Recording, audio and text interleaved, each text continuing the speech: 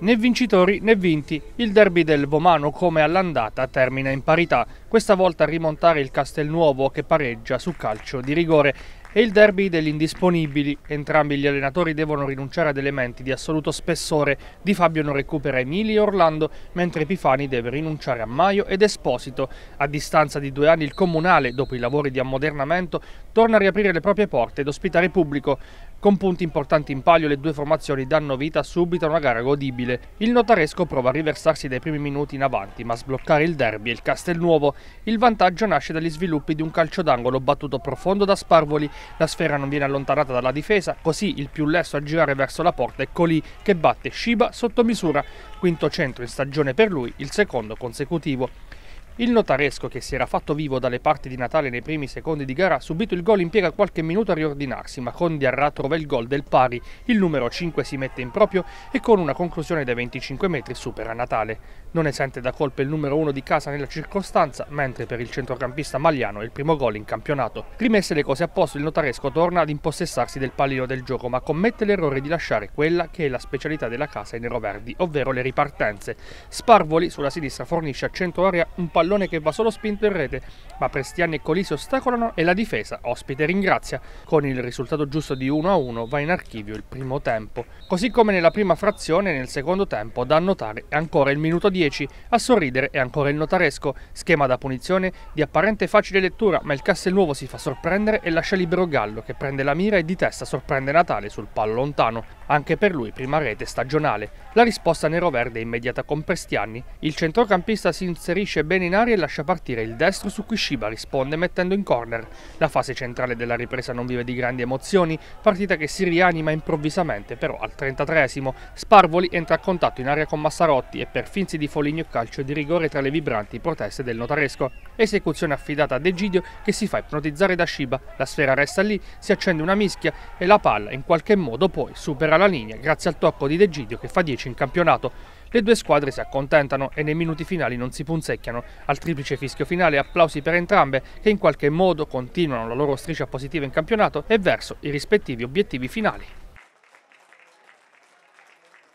Un pareggio giustissimo, un pareggio partita da derby, proprio classica. E siamo usciti ad andare in vantaggio noi, abbiamo sofferto dopo il vantaggio perché il notaresco voleva a tutti i costi no, riportare la partita in parità, ci è riuscito con un gran tiro da fuori, eh, poi dopo siamo, siamo, riusciti noi, secondo tempo equilibrato, un gol sul calcio piazzato, alla fine ci abbiamo creduto, abbiamo voluto questo pareggio, l'abbiamo ottenuto, peccato perché all'ultimo abbiamo avuto anche l'occasione per fare il 3-2, però un grosso applauso ai miei ragazzi perché non stanno mollando un centimetro e stanno facendo davvero delle cose egregie. Noi ogni partita eh, stiamo affrontando avversari di un certo calibro e eh, sinceramente non demeritiamo, noi dobbiamo continuare a fare eh, le nostre cose con umiltà come stiamo facendo, eh, lottando su ogni pallone come stiamo facendo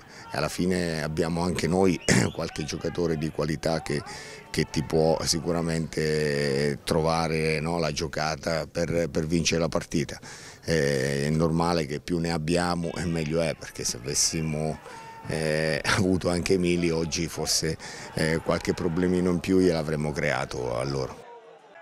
Ma c'è grande rammarico oggi perché credo che abbia fatto una grande gara ma deve essere amplificata questa grande gara per come ci siamo arrivati a questa partita eh, con 4-5 indisponibili con qualcuno che ha giocato con un po' di febbre, con l'allenatore con la febbre e credo che quest'anno è un anno veramente molto particolare. Ogni volta che alziamo un po' la testa ci, ci succede sempre qualcosa, però sono contento perché la squadra ha fatto una grande gara, sono orgoglioso oggi di loro perché nonostante tutto siamo venuti qua contro una squadra che in questo momento secondo me è la squadra che sta meglio di tutti, e lo dicono i risultati, lo dicono la qualità del gioco che hanno.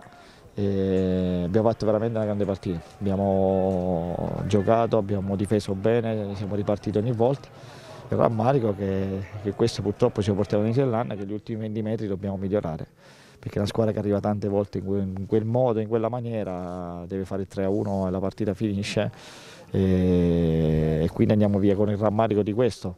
E, ripeto, al cospetto di una grande gara giocata da noi con una squadra che, che, in questo momento veniva da tantissimi risultati buoni e quindi ha ancora più valore. E quindi sono contento. E, ripeto, fatti complimenti a tutti e sono orgoglioso ancora di più oggi di allenarli perché so da dove veniamo. Quando mi espongo a dire qualcosa credo che lo dico perché li alleno tutti i giorni, so come i ragazzi sono e, e sono contento perché poi quando hai questi tipi di risposte su, per quanto riguarda le prestazioni sono cose importanti e, ripeto di questo ne sono contento. Oggi siamo, veniamo via con tanto rammarico però consci di aver fatto una partita veramente importante